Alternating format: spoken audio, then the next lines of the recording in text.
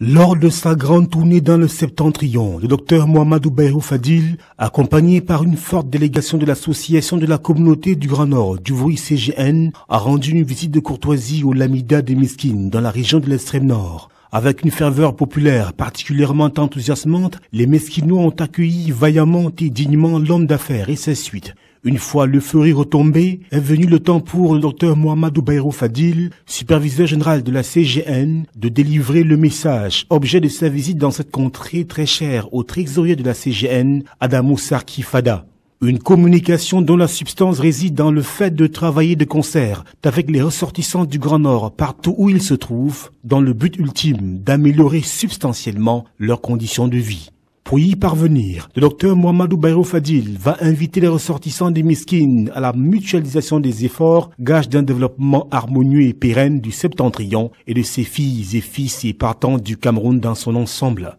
Toute chose qui commande une forte implication des chefs traditionnels et autres autorités religieuses au niveau de l'encadrement des populations. Et comme à chaque halte, c'est sous une ambiance agrémentée par des sonorités symbolisant et valorisant les valeurs et les traditions profondes du septentrion que la visite de courtoisie s'est déroulée au grand plaisir de Sa Majesté le Lamido Amadou fils du Lamido de Daïrou, de Miskin, de ses populations et bien sûr du superviseur général de la CGN, Dr Mohamedou Bayrou Fadil et de sa très forte délégation.